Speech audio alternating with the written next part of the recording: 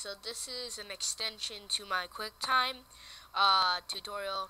I'm going to teach you guys how to convert your um, video to a different video file.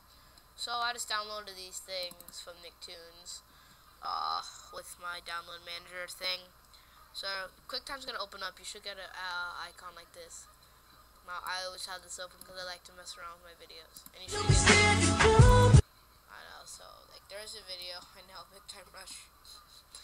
So, if you want to change it, you go to File. Now, this will export it for web. So, I'm to ex export it for web, export it, exports it as an M4V. That's an MPEG-4 file.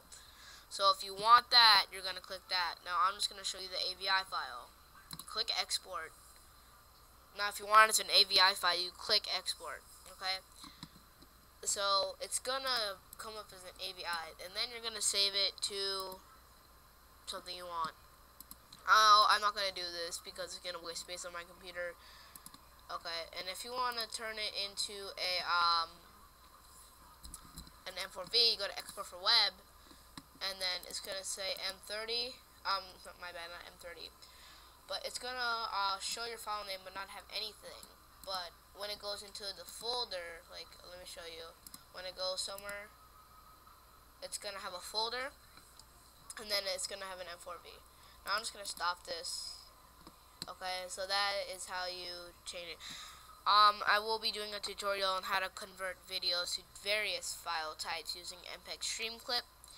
Uh, if I can, I am not going to be doing that right away because tomorrow I'm going to the movies with my friend. So yeah, if you guys have any questions, um, uh, I will answer them. See you guys later. Oh, and by the way, I'm not going to be making any more AMVs. I'm sorry, I know most of you guys, I don't know if any of you guys like them, but I like making them. See you guys later. Bye, guys.